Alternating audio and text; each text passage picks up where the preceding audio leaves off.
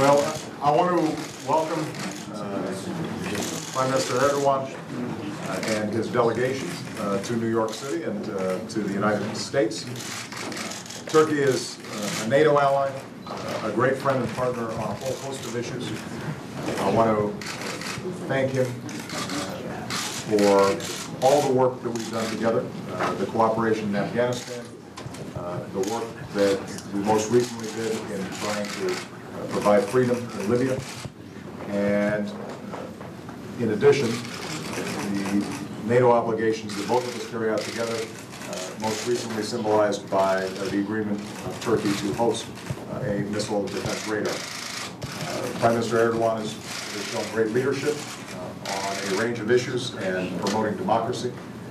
And we are very grateful to him uh, for the work that we've done together. I do want to express uh, my deepest condolences for the loss of life due to the explosion that took place in Ankara. And I understand that the investigation is ongoing, uh, but I think that this reminds us that uh, terrorism uh, exists in many parts of the world, and that uh, Turkey and the United States are going to be strong partners uh, in preventing terrorism. We look forward to working with you on these issues. So, uh, Mr. Prime Minister, thank you for your presence, thank you for your attention. Ee, Sayın Başbakan e, ve beraberindeki heyeti New York'ta ve Amerika Birleşik Devletleri'nde ağırlamaktan büyük mutluluk duyuyorum.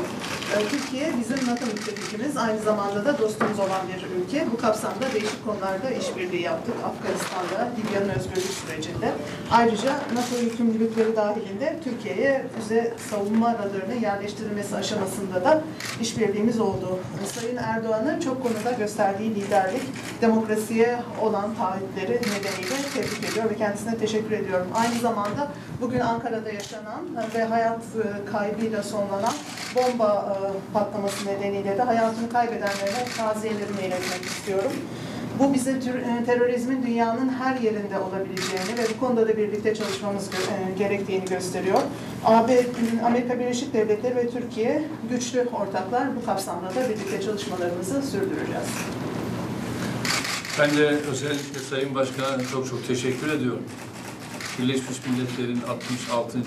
Genel Kurulu vesilesiyle bulunduğumuz Amerika'da kendileriyle bir arada olmamız, özellikle kendi ifadeleriyle model ortaklık süreci içerisinde gerçekten çok önemli adımları attık, atıyoruz. Tabii bu arada terörle mücadelede bir ortak mücadele platformu oluşturma, Ankara'da meydana gelen patlama olayında üç vatandaşımızı kaybettik. Fakat ardından Siirt'te dört tane boyanın içinde olduğu araca da teröristler tarafından bir saldırı neticesinde dört boyanı sivil vatandaşımızı kaybettik. Bu da bizim için tabii gerçekten ayrı bir hüzün sebebi oldu. Tabii terörle mücadele bitirilir mi denildiğinde minimize edilir ama ben bitirilmesi noktasında çok çok iyimser değilim. Fakat bu mücadeleyi birlikte vereceğiz. Gerek teknolojik noktada, gerekse bu noktada projelendirme, planlama noktasında müşterek atmamız gereken adımlar var ki bu noktada zaten terör örgütlerine karşı müşterek adımımız devam ediyor. Bundan sonra da devam edecek. Nitekim bugün burada bunları da geniş manada görüşeceğimize inanıyorum. Son dönemde Mısır, Tunus, Libya'yı kapsayan ziyaretlerimiz ve bunun dışında yine Afganistan'daki birlikteliğimiz, Irak'taki gelişmelerin değerlendirilmesi bunlar bizim müşterek attığımız adımlar oluyor. Temennim odur ki Türkiye, Amerika arasındaki bu model ortaklık neticesini vererek bundan sonra da devam etsin. Ben tekrar gösterdiğiniz ev sahipliğine çok teşekkür ediyorum. Thank you very much, Mr. President. Uh, I'm very pleased that we have this occasion to meet uh, during this week as we meet here for the 66th General Assembly of the United Nations. And um, as you had described the relationship between Turkey and the United States, we have a model partnership. And this is a process which is ongoing. In which we have taken some very important steps and we will continue to take some important steps. One of those issues that is very common to both of us is fighting against terrorism and fighting against terrorism based on a common platform. We have unfortunately lost three citizens today as a result of the blast in Ankara, but in the later hours there was another attack in Siirt, in a city in the eastern part of Turkey, where four young girls uh, were killed as a result of an attack uh, in a car.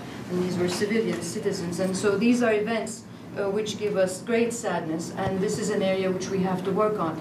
As for whether or not we can completely eradicate terrorism, uh, I'm not very optimistic uh, in thinking that perhaps we can completely eradicate it, but I think that we have uh, a lot of room to work together to make sure that we minimize terrorism to the lowest possible extent. And to do that, we have to keep working together on many areas of this effort, work together in planning, use technology so that we can continue to take joint steps in trying to fight against terrorism. And those are some of the issues that we all will talk about.